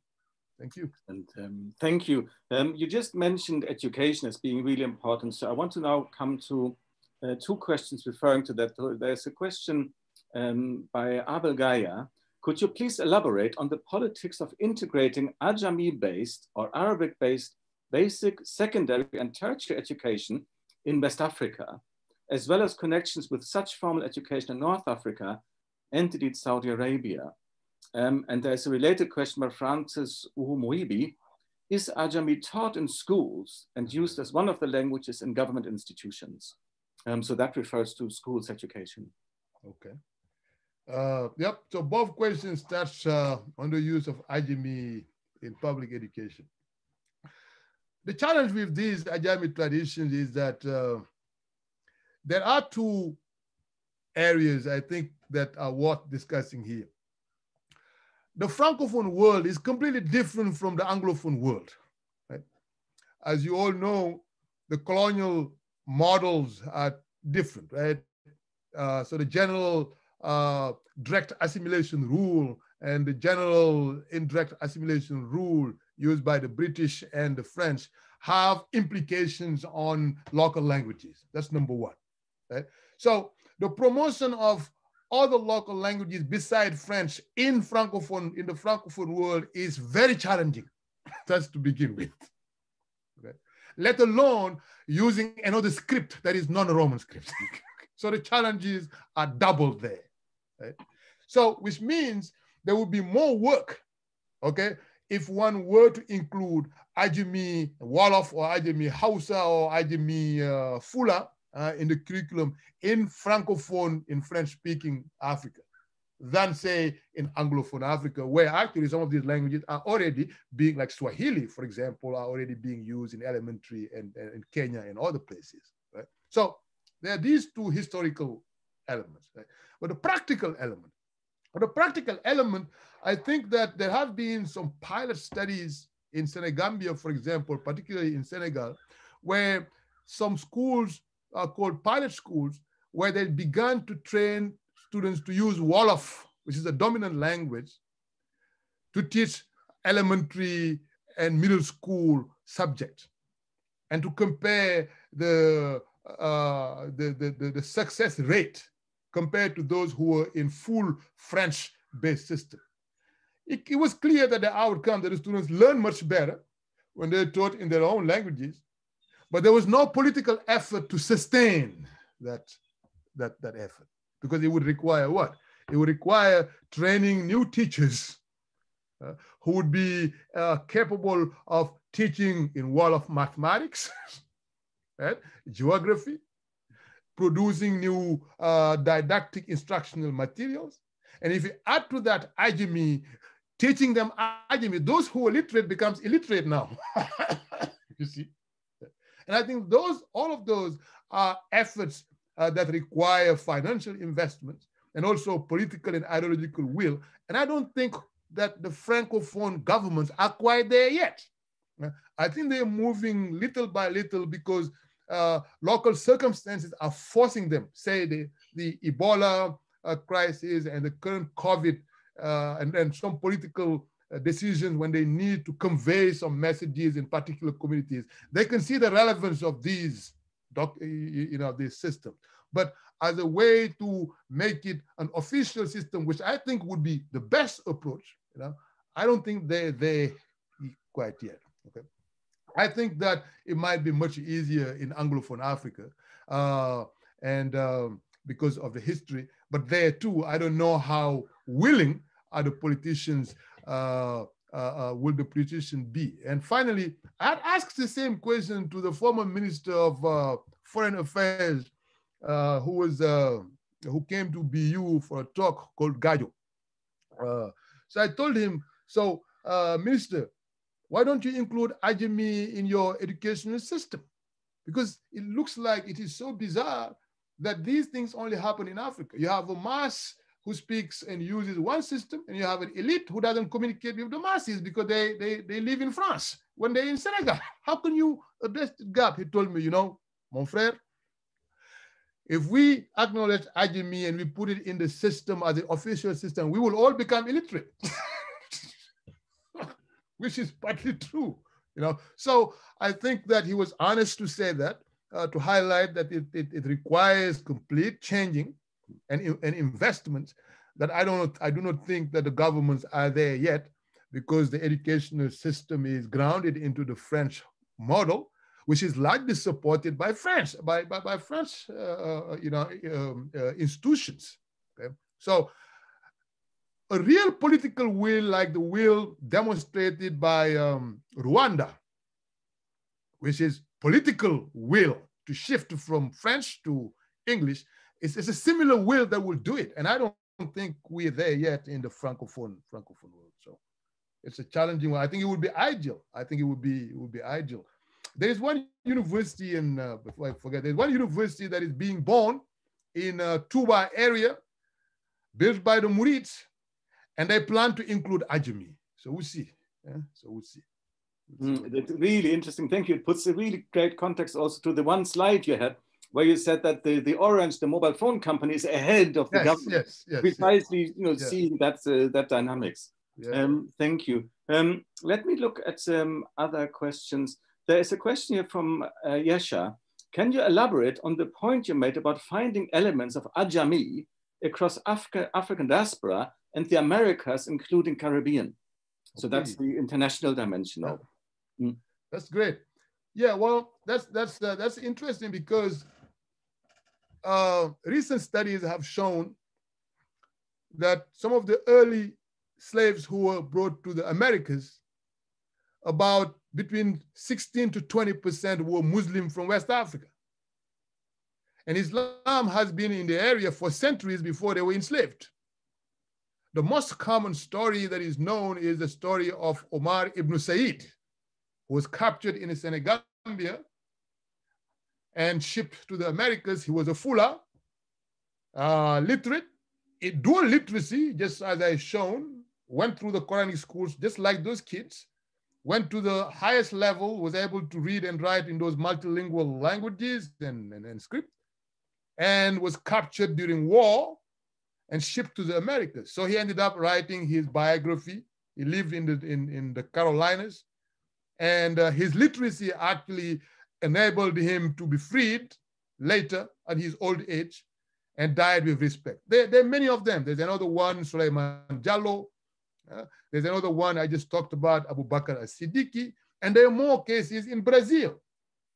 Uh, the Malê revolt uh, uh, in uh, uh, Salvador de Bahia, they found in the pockets of many of these slaves who revolted uh, bilingual Arabic and, uh, and Ajami documents. Some of those languages can't be deciphered now because we haven't studied we haven't studied them because they're not they're not Arabic. Okay, so which means that the the uh, the traditions, the African traditions of Ajami has been brought to the diaspora centuries before. Right?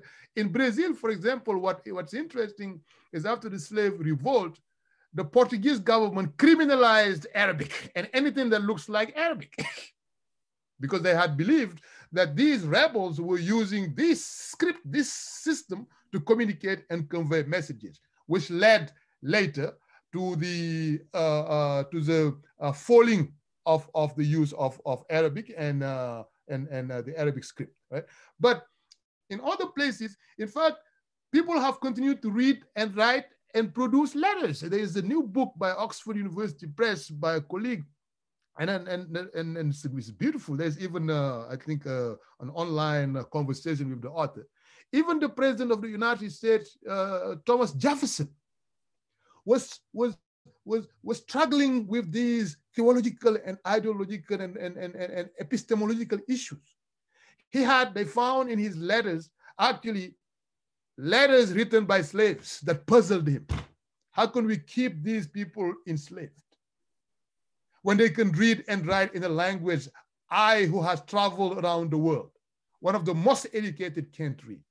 And that posed him really moral challenges. Right? So there are those documents, but the problem is many of them are misclassified as unreadable Arabic or bad Arabic because uh, because people remember they can read the Bismillahir Rahmanir Rahim, which is in good Arabic, like in that contract. But the rest could be a curse against Adolf Hitler. it could be, it could be, it could be a contract. Okay. And I think that means, you know, there are work to be done to collect some of these texts and to study them. Right?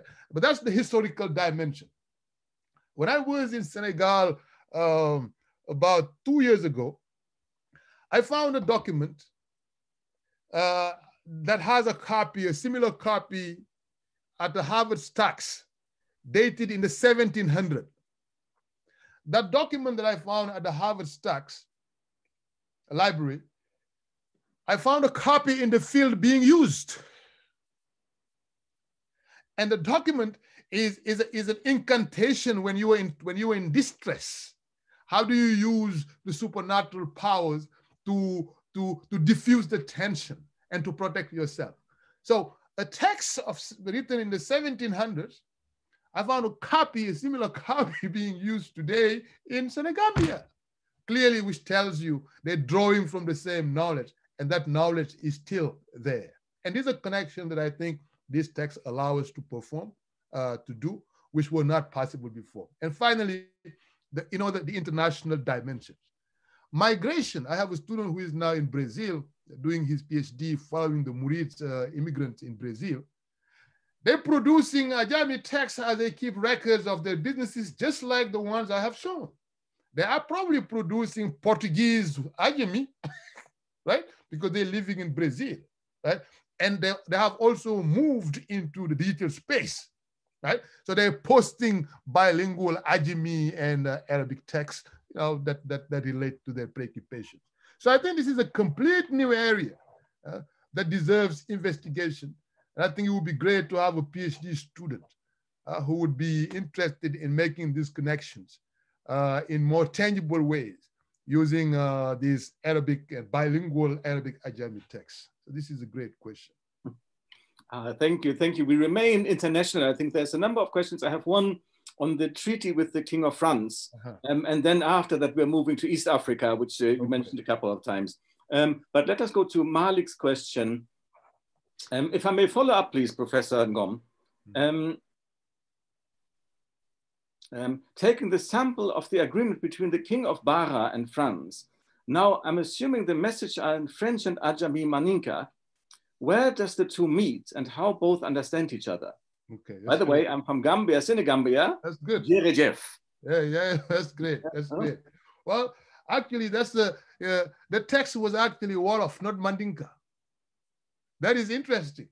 So what's interesting? Let me let me talk about that first, and I'll go to the historical issue. So this was the this was the oldest text that I found written in Wolof Ajami, because. Uh, uh, the ones that I have that have been produced by the Murids go as far back the uh, 1890s. Okay, so so uh, this text was actually uh, remember the Wolofs were the latest to be Islamized. So Islamization of the Wolof is very recent compared to the Fulbe, the Mandinka, and others. Okay, so which means that before the colonial division between Senegal, Francophone, and uh, Gambia, Anglophone, these were part of the same polities.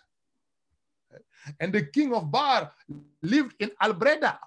Uh, I'm sure you know where is Albreda, which is a few miles from Jufure. okay. And if you go online, you will actually see, uh, if you go to Wikipedia, you will see the, the, the ruins of the trading posts they were talking about. They were talking about. Okay.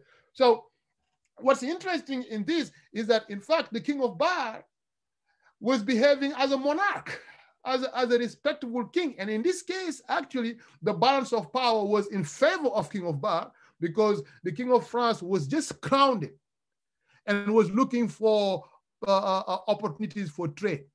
When he came around there uh, for my Gambian brother, it's the Nyominka, the Nyominka who operated as the naval force of King of Bar.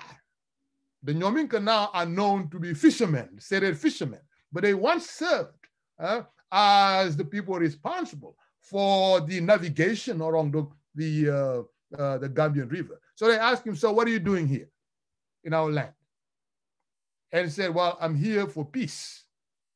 Uh, I hear, I hear, I'm here to look for opportunity to do business. And say, well, if that's the case, we have to bring you to our king, so you can talk to our king. And that's how King Louis XVIII was brought to King of Bar. And when he arrived and the king welcomed him as a, as a guest and honor, he said, okay, since you are for peace, tell us what you're interested in. And then he said what he wanted, and they translated to the local monarch, King of Bar. He understood, but of course, as, as, a, as, a, you know, as a monarch used to bureaucracy, he said, let's, let's have this in writing. Okay, and then he asked, you know, the king of France to uh, have his proposition in writing. And the king of France uh, clearly had his scribes, asked his scribe to write down his proposition. And the king of Bar also responded to the proposition, asking his scribe to do the same. This became a joint agreement. So the point here is again, you can see that uh, it reflects balance of power. it is so interesting that the king of Bar is descendants and the Mandinkas and all the people who use Ajami from that time to now are now disregarded in official literacy statistics. Okay. So, so that's why I'm interested. In fact, um, maybe we should uh, exchange uh, notes because I'm planning to go to the Gambia if COVID uh, allows uh, to look at all the Ajami resources, documents produced in that area.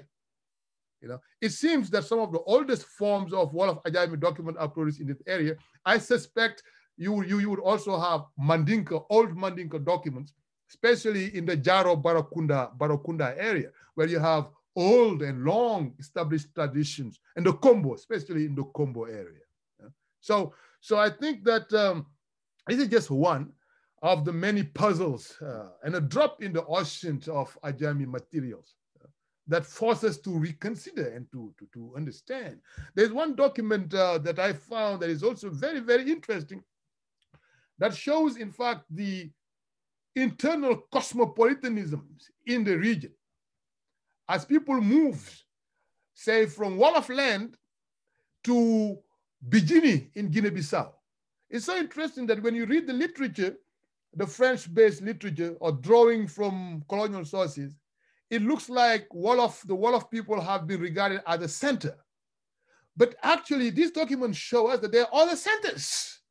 One of those centers was the Mandinka centers of, of Kombo uh, and Bijini. And there's a document that actually traces the migration of Wolof leaders and Wolof learned families from there to Bijini. And the war of independence that displaced, uh, you know, of, of the war of independence in um, uh, Guinea-Bissau that displaced many of them now in southern Senegal in Casamance. Right? So there, I think there's a lot of information here to uh, reconnect that uh, uh, by reading and accessing these texts, we might be able to reconstruct in a more uh, plausible way the historical movements of people in the region. Uh, it's a it's a wonderful resource. It's it's yeah. it's really fascinating. Um, I'm, I'm moving, I think probably the last two questions, I'm taking them together because they move us to East Africa. Um, okay. One is from our own uh, colleague, Angelica Baschiera here at SOAS. Um, thank you so much for this amazing presentation. I work a bit on Swahili manuscripts and I fully appreciate your research. Um, to follow on from Malika, in the Swahili context, there are hierarchies of power linked to the knowledge of the Ajami. Also the link to slavery and the Arab conquest of the Swahili coast. How, how to reconcile that history today. So there's a big discussion on the coast on that. So that's really interesting. And then I put the second question next to it. Um, thank you. African knowledge is vastly underestimated. Sorry, that is from Rubina. African knowledge is vastly underestimated and it is delight to see wonderful emerging surprises. Are you aware of languages in East Africa mm -hmm. similarly derived from Arabic? Mm -hmm. As you know, there was substantial cultural, religious, and linguistic Arab influence on the East African coast. Yeah. Kiswahili adopts Arabic vocabulary, but it is written in the Roman yeah. script. Yeah. Why the difference in how Arabic involved in East and West coasts? Yeah, that's, that's, those are great questions. Uh, I'm not, first, I should say, I'm not an expert of East Africa. Uh, so what I know from East Africa is based on my research and uh, bits of pieces uh, of information. One thing that I clearly see patterns, uh, I published uh, not long ago an edited volume in Islamic Africa called Ajamization of Islam in Africa. And in that volume, there were several important uh, articles that dealt with East Africa.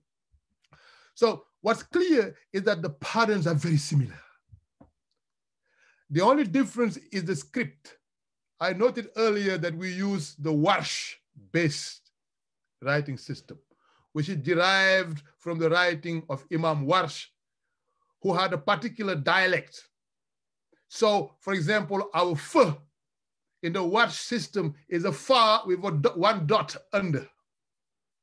In the Hafs system, the fa is, is one dot above. So there are variations. So our Ajami traditions are based on the Warsh. Right? So in the East Africa, all the texts that I have seen are based on the Hafs, of course, because they're closer to Arabia. okay. But the themes the forms of the documents, you could, they, they're much the same, the same. And so one document, in fact, one work that has really caught my attention is the, the use of Swahili Ajami in trade and diplomacy. Just like the, just like the document of uh, King Bar and uh, uh, King Louis XVIII, there is a work, a master's thesis, a wonderful master's thesis by um, someone called Mitua, who did a master's thesis showing how Swahili merchants who traveled and did business around the coast up to Mo northern Mozambique used contract in Swahili Ajami with local rulers, including Portuguese rulers. And that thesis has extensive copies of some of these, these, these, these diplomatic documents in Swahili at the end. Right? So it seems, based on that, that the writing of contract, the writing of diplomatic agreements, right, was, was a common practice as it is in West Africa and East Africa. Okay, so um, the hierarchies of knowledge and uh, the fact that Swahili is now written with the Roman script I think the writing of Swahili with the Roman script clearly is very recent compared to the long history of uh, Swahili in Ajami. Okay, but Swahili in Roman script also played an important national and ideological uh, value because it allowed during the post, you know, the, the, the, the colonial struggle to unify people who are not necessarily Muslim, but who are also Swahili speakers. Okay, so I think for issues of nationhood, okay, issues of creating, say, the Ujamaa, the, the, the, the, the nationhood, uh, bringing people together beyond religious differences might have been an ideological underpinning of why the, the, the Latin script might have been used as important. But in terms of hierarchies of knowledge, and I think this is again another similarities we've touched on earlier, right? So you see, for example, the Ajami in uh, northern Nigeria, the Fulfulde Ajami was second to Arabic in terms of prestige. well, of course, because the teachers were Fulfulde, were Fulfulde, Fulfulde, Fulfulde, right? And then Hausa Ajami came later, Okay, so in the times of Usman dan Fodio, clearly, if you spoke Fulfulde, it's like you know some Latin today, you know, because you would be you would be marking yourself as an erudite. Okay, the more you speak Arabic, you will be putting yourself as, and I think that structure still exists in many Muslim communities, and that's where I think the difference is with say the Muridiyya.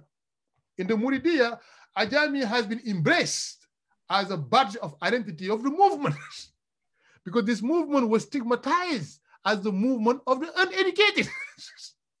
so they adopted Ajami as a badge of their membership. And that's and then and then they they they added to that financial support. You know, they invested in that. So they invested the history of the I looked at in my book, I looked at the history of the uh, publishing presses of the Murids.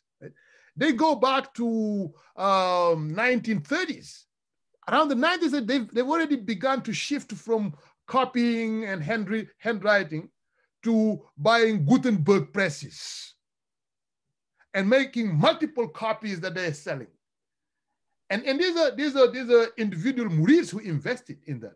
And then the leadership also supported that movement by beginning to, uh, to generate bureaucratic documents with letterheads, etc. Right? So that kind of uh, democratization of Ajami among the Murids is what is different from the other tradition. Right? But they all have Arabic, okay? But the way uh, Ajami has been supported, I think it's, it's what's slightly different. Uh, but I agree that the hierarchy of powers is often reflected in the hierarchy of language. And in the Murid co community, that hierarchy is less, less, less uh, static. Okay, and Ajami seems to be uh, empowered uh, for ideological reasons. And compared to Hausa tradition, this is very interesting. For, for the Swahili, for the Hausa tradition and uh, in uh, northern Nigeria, Usman dan Fodio deployed Hausa Ajami as a strategy for his military jihad. Right? To recruit the masses, he had to convey to them the, the, the, the, the rationale, know, to, he had to galvanize them for practical reasons. So he produced Ajami documents in Hausa, and his daughter, clearly Nana Asma'u, also wrote in multiple languages as an effort to, to, to engage the masses. In the Murid community, it's similar, but it's more expand, extensive. It's both to teach to the masses, but it's also for the masses to say, we are very proud Wolof Muslims, we are not Arab. Right? And that's very important among the Murids. You know, the Murids pride themselves of defining themselves as Muslim Africans. In the same way the Persians had presented themselves as Muslim Persians, which in the same way, all who in the same way also use Ajami to write Persian. okay, okay. So I think the patterns are there. And these similarities, I say they actually cross regional, you know, and they just show how Islam has adapted in different areas. And the issues are very similar in some in many ways. They're very, very, very similar. So thank you. These are great, uh, great, great questions. Oh, brilliant. Well, thank you very much indeed. Um, that was well, most wonderful. You. We've reached the end of the of our two hours. Um, and we reached the end of the questions. I should say again, there's lots and lots of praise for your presentation and the the information, you know, the, the insights you have shared with us in the in the Q and A in the chat, chats. And I I fully agree. I think it was a fascinating lecture. It was really very fitting as the also the the first keynote lecture for our Festival of Ideas, um, and and looking at knowledge and and you know how how you know your what you found changes the perspective on so many different things and that's really that's so important. So thank you very very much indeed. I should uh, normally we would of course invite everybody to to a reception in the building but unfortunately we can't do that uh, because of covid. But um, but you know i hope we can reconvene at some yeah. physically. Um, i should also point out that of course the festival continues. Um, so stay with us. We have tomorrow morning um, i think we are starting at um, 10 a.m um, with the soul mama journey, breaking the cycle and healing the mother wound, um, with Nihanda Truscott-Reed, who is um, a holistic wellness coach and founder of the Soul Mama Journey, which supports women throughout the sacred transition from of motherhood, from conscious conception and spiritual pregnancy to mindful motherhood. Um, so that's tomorrow morning, 10 a.m. It is um, um, online virtual like all our events. Stay with us, look at the program. Thank you very much for coming. Thank you very much, Fallou, for a wonderful, wonderful lecture. Well, thank Learned you a lot. much. I think we generated lots of ideas and energy. Um, so I hope to be continued and we continue also with the West Africa, East Africa discussion a little bit more as well. That would be great. Most definitely. Thank you very much. And Thank you very much. evening. Thank you and uh, good night in, in Bye. London and goodbye. Same to you. Bye bye.